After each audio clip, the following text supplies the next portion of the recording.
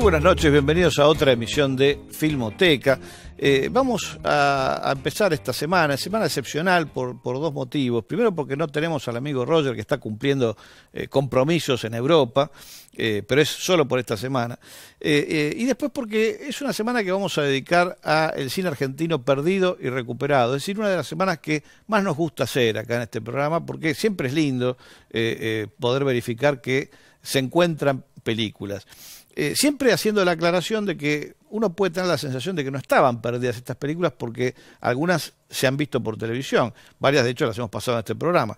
Bueno, esto es re- relativamente cierto, es decir, que una película exista porque se da por televisión no quiere decir que exista realmente, es decir, lo que existe por ahí es su fantasma, es decir, una copia digital, una copia en video que se puede pasar por televisión, pero de la mayor parte de las películas que vamos a hablar durante esta semana no se sabía dónde estaba el fílmico y el fílmico es lo que importa porque es lo que garantiza la preservación de la película en el largo plazo. En todos estos casos, bueno, tenemos finalmente el fílmico que respalda la copia que se exhibe.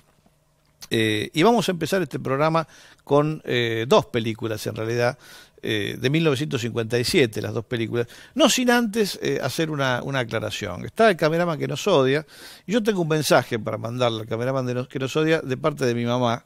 Ella considera que el cameraman es responsable de hacerle ver a todo el público argentino que mira este programa que yo uso los zapatos sin medias.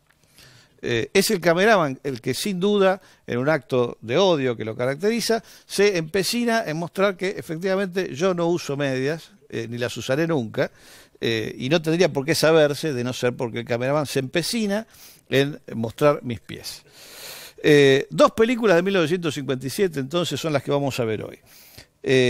La primera es Cinco gallinas y el cielo, una película dirigida por Rubén Cavalotti, de las primeras películas que hizo Cavalotti, un hombre que venía de la industria y que después, durante un tiempo breve, se sumó a las renovaciones de los 60.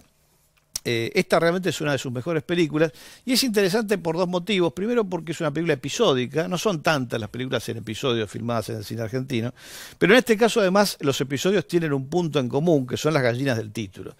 Lo otro extraordinario de la película es que es una película de tono fantástico, es decir, hay un elemento acá, eh, no, no, no- necesariamente sobrenatural, vinculado a la ciencia ficción, porque se ha manipulado a estas gallinas de una forma en la que van a descubrir enseguida, y eh, bueno, los huevos que producen eh, determinan efectos impensados sobre quienes los ingieren, que adquieren de pronto un tremendo valor, un tremendo coraje del que antes carecían.